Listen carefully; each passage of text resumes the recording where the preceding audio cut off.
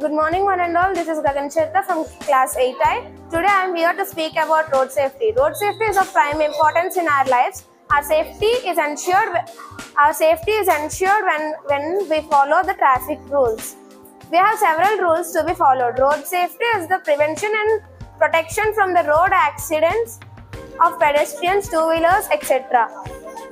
In our life, we have to follow many rules, and one of these is road safety rules.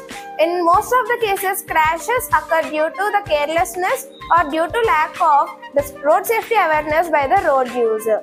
So we have many rules such as following the signals, giving the right signals, moving in a right way, etc. So, and the most above all it, the most rule, the most followed rule is to follow the traffic policeman who is on duty. So follow the rules, drive safe, and be the savior of your life. Thank you.